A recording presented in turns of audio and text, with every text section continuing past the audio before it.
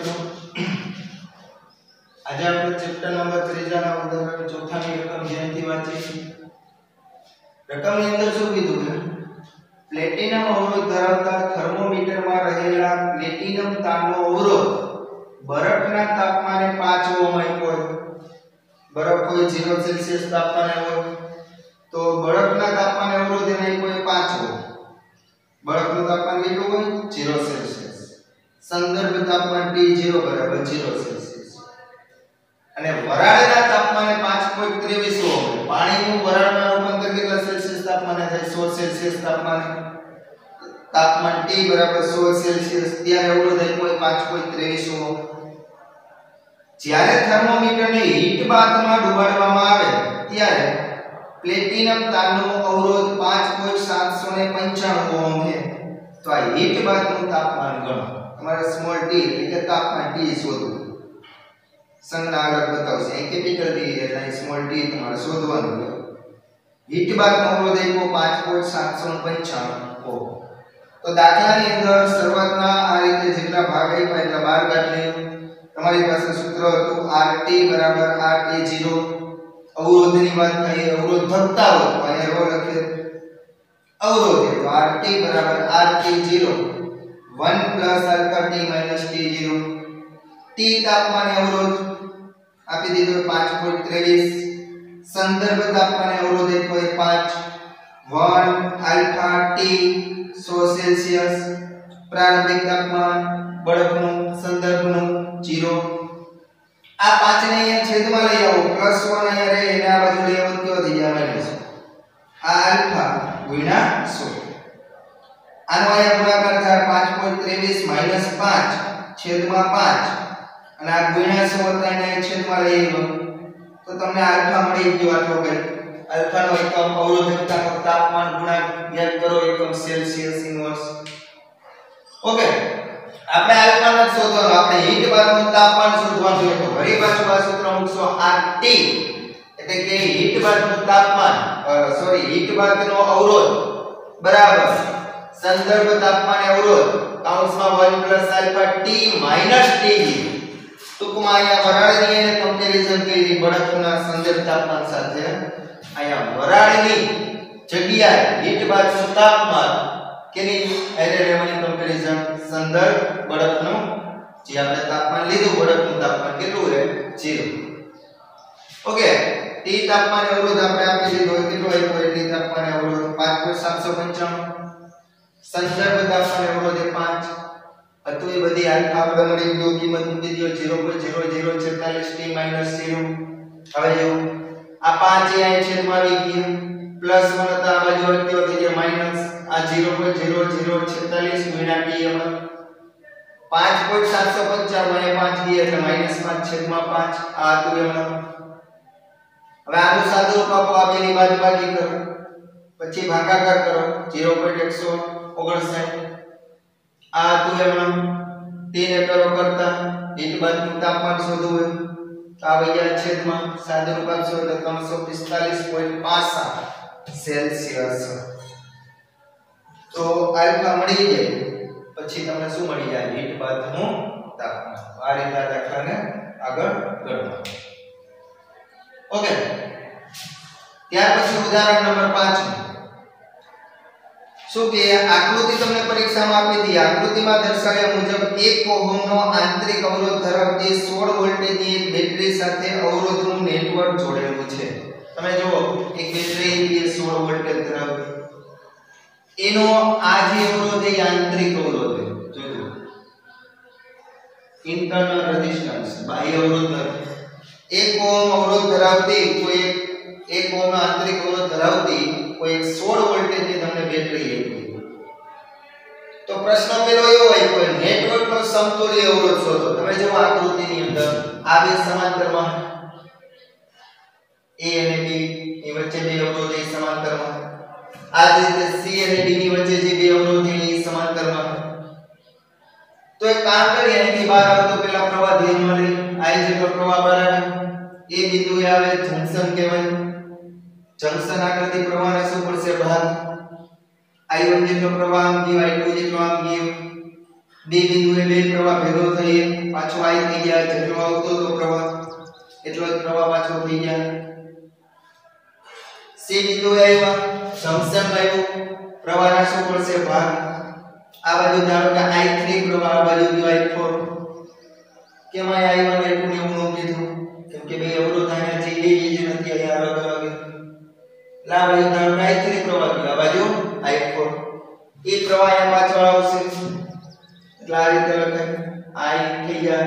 કેમ કે I3 I4 કુલ પ્રવાહ પાછો I મળી જશે. ઓકે પેલા પ્રવાહને આ રીતે ભાગ કરે. સમતુલ્ય અવરોધ પેલા મેળવો તો દેખીતી વસ્તુ એ, આ બે સમાંતરમાં યાદ કરો, બે અવરોધ હોય અને સમાંતરમાં હોય તો ઉપર ગુણાકાર છેદમાં સરવાળો. તો 4 ગુણ્યા 6 ઉપર ગુણાકાર છેદમાં સરવાળો. આ બે નું સમતુલ્ય આપણે કંઈક મળશે. આટલું મળશે. 2 કેમ કે ચોકે ચોકે 16 16 ભાગ્યા 8 એટલે આ મળી ગયા બે. આ એક એક ઓમ અવરોધ એમાં મતલબ જ. B અને C ની વચ્ચે. C અને D ની વચ્ચે બે અવરોધ સમાંતરમાં 12 6 72 72 ભાગ્યા ઉપર ગુણાકાર છેદમાં સરવાળો. 72 ભાગ્યા 18 આપશો એનું, એટલે તમારો જવાબ 4 આવશે, એ 4 તો કરો જે સરવાળો 4 ને 2 6 6 ને 1 7 તમારો જવાબ કેટલો આવશે? 7 જોજો એમાં આ અવરોધ એડ ન કરતા, ભૂલ ન કરતા. આપણે સમતુલ્ય અવરોધ મેળવવો હોય આનો નેટવર્કનો સમતુલ્ય અવરોધ. ત્યારે બેટરીના કોષનો આંતરિક અવરોધ ધ્યાનમાં લેવાનો નથી. એટલે ખાસ જોઈ લો 4 ને 2 6 ને 1 7 ભૂલથી 8 આ એડ કરી દેતા નહીં. આવે શ્રેણીમાં. આ ધ્યાનમાં લેવાનો નથી. આંતરિક અવરોધ. આંતરિક અવરોધ. કેનો? કોષ. ઓકે, તો સાતમો પેલો આન્સર આવી નેટવર્કનો સમતુલ્ય અવરોધ. શોધો હવે એવું કે દરેક અવરોધમાંથી વહેતો પ્રવાહ શોધો તમે જો આ અવરોધ આપણી પાસે કેટલા? 1 2 3 4 5 અને આંતરિક અવરોધ હતા 6 આ 6 6 અવરોધમાંથી પસાર થતો તમારે શું મેળવવાનું હોય? પ્રવાહ તમને એક વસ્તુ ખબર છે, સમાંતર જોડાણ હોય ને, તો બે છેડા વચ્ચેનો વિદ્યુત સ્થિતિમાન કેવો હોય? સરખો. સમાંતર જોડાણમાં આ બે છેડા વચ્ચે જેટલો વિદ્યુત સ્થિતિમાન હશે, એટલો જ અહીંયા હશે. પણ એ પેલા એક કામ કરી, કુલ પ્રવાહ કેટલો? એ મેળવી તો એ મળી જશે. શું કામ? સમતુલ્ય તો નેટવર્કમાં મળી ગયો વોલ્ટેજ એકમાં તો પ્રવાહ મળી જાય તો કુલ પ્રવાહ બરાબર કુલ ઈએમએફ છેદમાં કુલ અવરોધ. કુલ ઈએમએફ આપણે E અને કુલ અવરોધ, એટલે નેટવર્કનો સમતુલ્ય અવરોધ મેળવી અને આ કોષનો આંતરિક અવરોધ પ્લસ સ્મોલ r. E બરાબર કેટલા મળ્યા? 16 r કેટલા મળ્યા? 7 પ્લસ આંતરિક અવરોધ 1 તો આ કેટલા મળશે? I બરાબર 2 એમ્પિયર આ પરિપથમાંથી પસાર થતો પ્રવાહ. I બરાબર કેટલો મળ્યો? 2 એમ્પિયર પ્રવાહ મળી ગયો આપણે કુલ. હવે દરેક અવરોધમાંથી પસાર થતો પ્રવાહ મેળવવાનો. તો સમાંતર જોડાણ છે આ બે બિંદુ a અને b બિંદુ વચ્ચે આ જે જોડાણ છે, એ કેવું જોડાણ? સમાંતર. સમાંતર જોડાણ હોય તો વિદ્યુત સ્થિતિમાન બે, અહીંયા જેટલો વિદ્યુત સ્થિતિમાન હશે, એટલો જ અહીંયા હશે. તો હું એમ કહું, આનું વિદ્યુત સ્થિતિમાન વિદ્યુત સ્થિતિમાનનું સૂત્ર શું થાય? v બરાબર i તો i એટલે અહીંયા પસાર થતો પ્રવાહ કેટલો? છે i1 અવરોધ કેટલો છે? 4 તો 4i1 બરાબર. આવું લખાય 4i2 4i1 બરાબર. 4i2 વિદ્યુત સ્થિતિમાન કેવો હશે બે વચ્ચેનો સમાન. બે બાજુથી 4 4 કેન્સલ થઈ જાય તો આવું લખાય i1 બરાબર i2 સમજાય ઓકે આવતો પ્રવાહ કેટલો હતો? I. પ્રવાહ રાશિ પડ્યા હતા? ભાગ i1 અને i2 તો આવું લખાય. જંકશન તરફ આવતો પ્રવાહ. બરાબર. જંકશનથી દૂર જતો પ્રવાહ. એટલે i બરાબર i1 i2 i. બરાબર i1 i2 i. તમને મળેલો હતો કેટલો? 2 આ 2 i1 પ્લસ આ i1 બરાબર i2 એનો મતલબ એ i2 ની જગ્યાએ i1 લખો એટલે લખાય i1 i1 એટલે 2i1 આ 2 બે વૈકે છેદમાં તો i1 બરાબર કેટલા એમ્પિયર આવશે? 1 એમ્પિયર. આ જ રીતે i2 બરાબર 1 જ એમ્પિયર આવશે. શું કામ? તો ક્યાં આવું મૂકો. I2 i2 2i2 તો i2 બરાબર કેટલા આવશે? 1 એમ્પિયર. ઓકે. I1 i2 પ્રવાહ મળી ગયો. આ કેટલું હશે તમને પણ ખબર પડે? બે ભેગા થઈ. I 1 i2 એટલે પાછો કેટલો થઈ ગયા? 2 હવે આ હવે આવશે આ જેમ કીધું એમ. આ બે વચ્ચે વિદ્યુત સ્થિતિમાન કેવો હોય છે બોલો સરખો. એટલે આવું લખશે i3 12 i3 12 12i3 બરાબર 6i4 6i4 હવે જો 6 ને એક છેદમાં લઈ આવે તો ઉપર બે આવી ગયા 2i3 બરાબર i4 ફરી પાછું જો જો આ i પ્રવાહ એ આનો ભાગ પડે તો i બરાબર i3 i4 i બરાબર i3 i4 i તમને ખબર છે બે i3 એમાં જો y4 બરાબર 2i3 લખે, તો 2y3 2y3 i3 એટલે કેટલા થાય? 3i3 3i3 બરાબર? 2 i3 ને કરો કરતા, તો 3 બીજા છેદમાં 2 ના છેદમાં 3 એમ્પિયર. i1 મળી ગયો i2 મળી ગયો i3 મળી ગયો i4 એ આપણે મળી જશે. કઈ રીતે? તો કે i4 આની આ સૂત્ર એ i3 જે જવાબ આવ્યો એમ કીધું. અહીંયા તો ઉપર ગુણાકાર 2 2 4 4 ના છેદમાં 3 એમ્પિયર તો બી ની અંદર આપણે એવું કીધું હતું, દરેક અવરોધમાંથી વહેતો પ્રવાહ મેળવો. પહેલા શું કીધું હતું? સમતુલ્ય અવરોધ મેળવો. દરેક અવરોધનો નેટવર્કનો સમતુલ્ય અવરોધ મેળવો. તો એ આપણે આન્સર આવ્યો સાતો પછી શું કર્યું? પસાર થતો કુલ પ્રવાહ મેળવી લીધો. કુલ પ્રવાહનું સૂત્ર શું? કુલ ઈએમએફ ના છેદમાં કુલ અવરોધ પ્રવાહ મળી ગયો પછી શું મેળવવાનું હતું દરેક શાખામાંથી વહેતો પ્રવાહ તો આપણે આમાં યાદ જ યાદ રાખવાનું સમાંતર જોડાણના બે છેડા વચ્ચેનો વિદ્યુત સ્થિતિમાન કેવો હોય સર બસ આના બરાબર આ એવી જ રીતે આના બરાબર આ છેલ્લું, સી મેળવવાનું છે. VAB VBC અને VCD વચ્ચેનો વિદ્યુત સ્થિતિમાનનો તફાવત. મને એવું પૂછું, આ બે છેડા VAB એટલે આ બે છેડા વચ્ચેનો વિદ્યુત સ્થિતિમાનનો તફાવત મેળવો. તો VAB બરાબર I RAB પસાર થતો પ્રવાહ તમારી પાસે I બરાબર કેટલા 2 આનો સમતુલ્ય અવરોધ તમને મળેલો છે.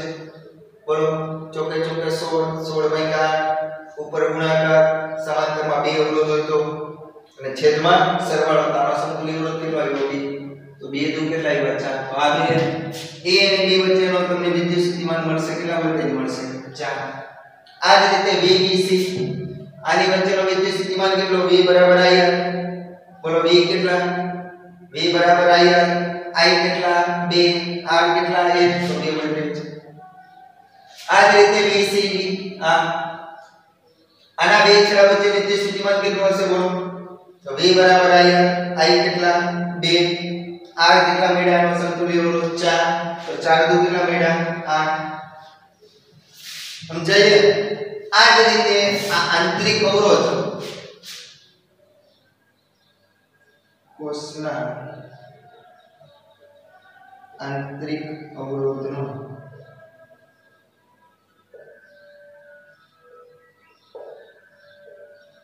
વિદ્યુત સ્થિતિમાં શું બોલી ગયો સૂત્ર V બરાબર IR V હમણાં I કેટલા બે અવરોધ જોવો જોઈએ કેટલો હતો 1 બોલો વોલ્ટેજ કેટલા આવ્યો બે વોલ્ટેજ કરો એ વોલ્ટેજ નો સરવાળો 4 2 6 6 8 ને 6 14 14 ને 2 16 જેટલા વોલ્ટેજ તમે આપો, એટલા જ વોલ્ટેજ મળવા જોઈએ. છેલ્લે દાખલો પૂરો થાય ત્યારે આ રીતે ચેક કરી લેવો ઓકે તો થોડો દાખલો મોટો હે. પણ ત્રણ સ્ટેપ હતા. પહેલામાં સંતુલિત અવરોધ. પછી એમ કીધું, દરેક શાખામાંથી વહેતો પ્રવાહ શોધો અને પછી એમ કીધું એ, આ ત્રણ બિંદુ વચ્ચેનો શું મેળવો? વિદ્યુત સ્થિતિમાનનો તફાવત. ઓકે મિત્રો, જય શ્રી કૃષ્ણ.